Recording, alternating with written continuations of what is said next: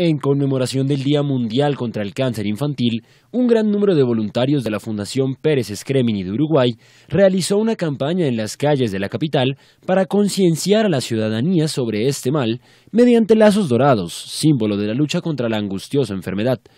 Esta fundación trata a casi todos los niños uruguayos que padecen de cáncer a través del Hospital Pereira Rosel Montevideo, donde presta los servicios de oncología pediátrica. Luis Castillo, director de la fundación, aseguró que los servicios médicos del ente que regenta no tienen ningún costo. Y nosotros hoy, en el marco de, esa alerta mundial, de alguna manera estamos eh, mostrando a la población que nuestros niños sí acceden el 100% de nuestros chicos accede a tratamientos que son gratuitos y potencialmente curativos.